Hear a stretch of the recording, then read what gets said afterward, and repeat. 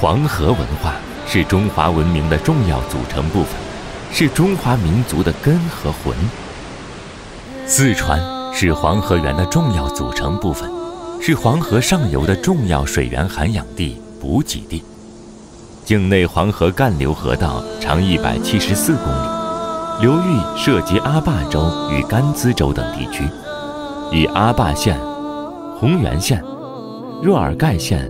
松潘县和石渠县五县为核心，黄河九曲第一湾，如诗如画，如天籁。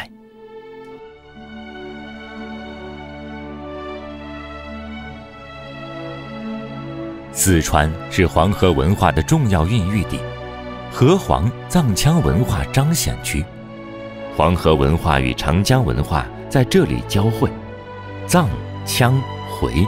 汉和谐共生，形成了独特的河湟藏羌文化，孕育了魅力独具的非物质文化遗产。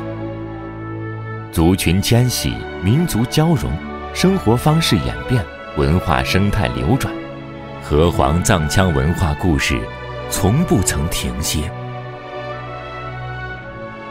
黄河源五县的优越地理环境。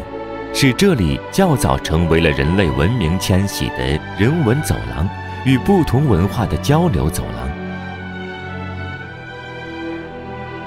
古老的羌族无私而坚韧，羌族文化涅槃重生、创新发展，国家级羌族文化生态保护区典范意义不断彰显。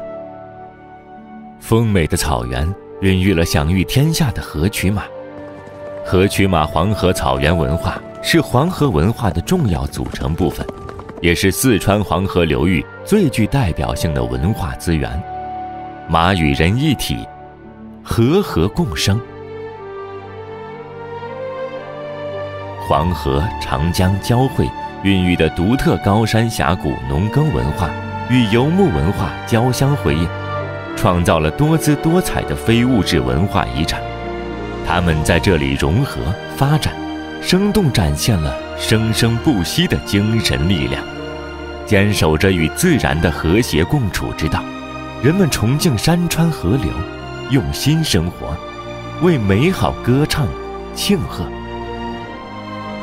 生态和谐，民族和睦，彰显河湟藏羌文化，和美文化在这里传承生长。不断筑牢中华民族共同体意识，凝聚起同心共筑中国梦的磅礴力量。四川各族人民一直在不断努力奋进。